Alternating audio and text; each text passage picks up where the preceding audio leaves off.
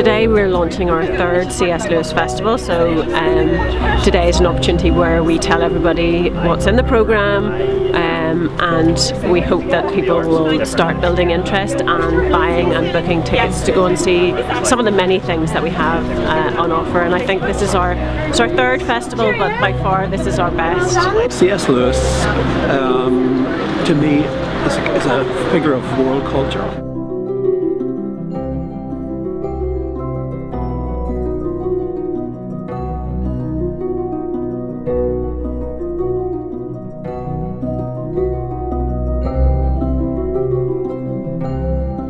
The Lion, the Witch and the Wardrobe is basically an allegory on, on the thing of the danger of the world and the danger for people growing up in the world. It's just a generally really good story. It's sort of a fairy tale, but any age can read. I suppose I like the way that C.S. Lewis tells the stories and builds the characters throughout.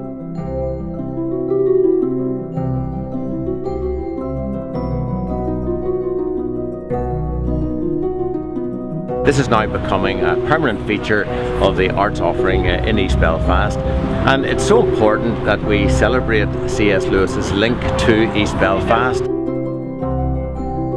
She immediately stepped into the wardrobe and got in among the coats and rubbed her face against them, leaving the door open of course because she knew that it's very foolish to shut oneself into any wardrobe.